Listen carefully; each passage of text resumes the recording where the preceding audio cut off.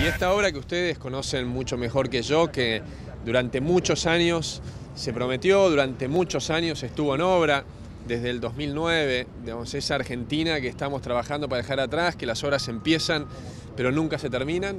Eh, desde que asumimos en diciembre del 2015 el compromiso de Mauricio con los santafesinos de que las obras se arrancan y se terminan y, ya prácticamente la circunvalación está prácticamente terminada y Javier, las fechas ahora para acá para terminar eh, este tramo son... A fin de año terminamos con esto, que es el último tramo, que es el puente sobre la 34.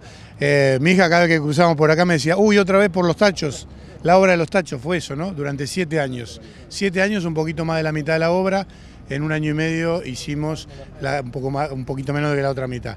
Ese es el ritmo que le queremos dar. Eh, anteayer estuvimos en Ubes inaugurando la variante que me decían los vecinos, hace 40 años que la estábamos esperando. También nos consumió un poquito más de 10 meses.